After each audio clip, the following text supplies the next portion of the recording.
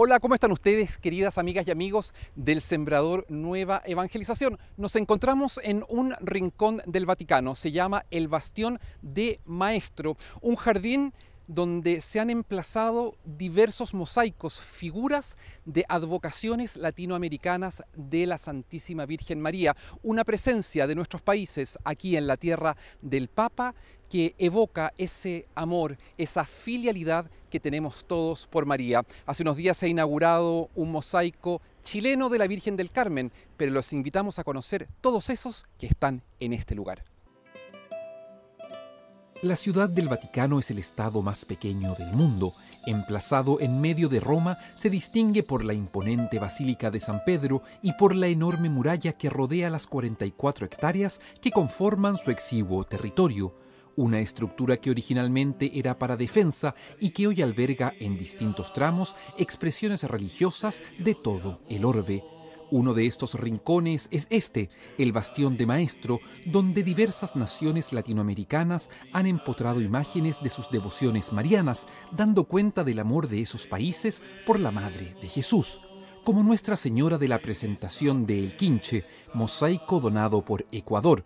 El vestido de María lleva signos precolombinos y la figura está acompañada de plantas y flores silvestres de todas las regiones del país, además de nueve colibríes de bronce.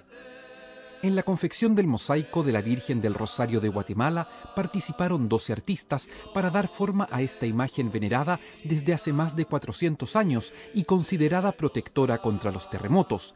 Las figuras con motivos mayas del marco de la obra representan las cuentas del Rosario.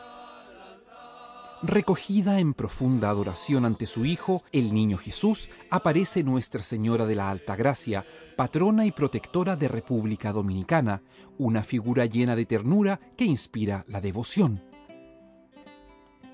Nuestra Señora de la Paz de El Salvador es una imagen en bronce, en ella resalta la palma de oro en su mano derecha que recuerda la protección milagrosa de María en 1787 cuando salvó a la ciudad de San Miguel de la erupción del volcán Chaparrastique.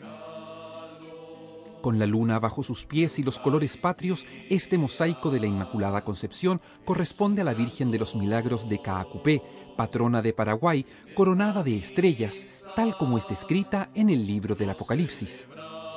La Virgen de Copacabana es patrona de Bolivia, en un brazo lleva al Niño Dios y en el otro un canasto, y está rodeada de referencias al santuario donde se le venera junto al lago Titicaca, destacando su rol esencial en la evangelización del país altiplánico. En un pequeño montículo contiguo está una réplica de la Morenita, nombre cariñoso con que los hondureños llaman a la Virgen de Suyapa, su patrona. Aunque la original mide solo 6,5 centímetros, esta réplica es de un metro y pesa 200 kilos. Y la última en ser instalada es esta imagen de la Virgen del Carmen, reina y patrona de Chile, un mosaico de 15.400 piezas hecho íntegramente en ese país con piedras de todo el territorio nacional y que integra símbolos de los pueblos originarios, así como de las tradiciones autóctonas chilenas, una devoción centenaria a la Madre que lleva a Jesús en sus brazos y lo presenta a los creyentes. Así este hermoso jardín del Vaticano acoge las imágenes de Latinoamérica que traen nuestro amor, nuestra cercanía y el abrazo de María Santísima a todos los pueblos de Latinoamérica. Desde el Vaticano soy el Padre Felipe Herrera, Vatican News, el sembrador Nueva Evangelización.